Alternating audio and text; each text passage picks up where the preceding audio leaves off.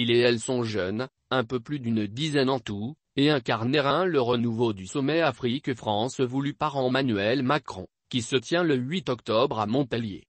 Ces hommes et femmes, venus d'horizons divers, ont été choisis pour participer à la séance plénière du sommet aux côtés du président français.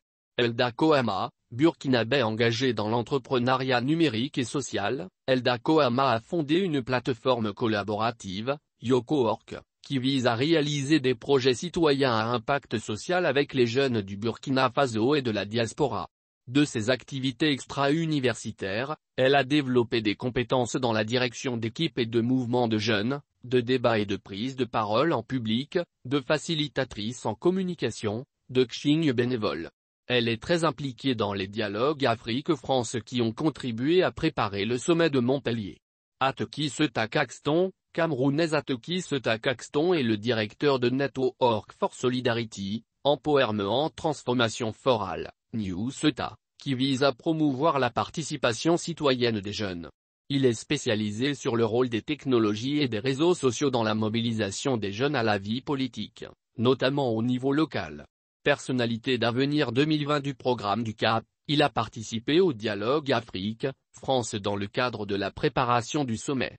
Arthur Banga, ivoirien docteur en histoire des relations internationales de l'université Oufoué-Boigny et en histoire militaire, de l'EF. Arthur Banga est chercheur à lire sur mais écrit ponctuellement pour Jeune Afrique sur les sujets de sécurité et particulièrement sur la présence militaire française en Afrique. Il fait partie des personnalités qui ont participé au dialogue Afrique-France dans le cadre de la préparation du sommet. Aliouba, Guinéen président du mouvement démocratique libéral, modèle, en Guinée depuis 2019. Aliouba est une personnalité d'avenir identifiée par le Centre d'analyse et de prévision et de stratégie, CAP, en France il y a quelques années.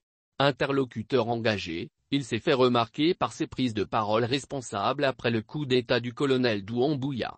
Adèle Oyango, Yann créatrice de podcasts, activiste et personnalité médiatique, radio. Adèle Oyango est reconnue internationalement pour ses actions en faveur de l'émancipation des femmes et des jeunes en Afrique.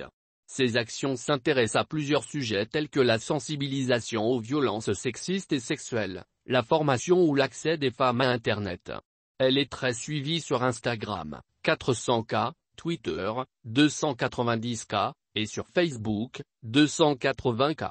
Elle s'est impliquée dans la préparation du sommet sur les questions culturelles, notamment liées à la restitution du patrimoine culturel africain.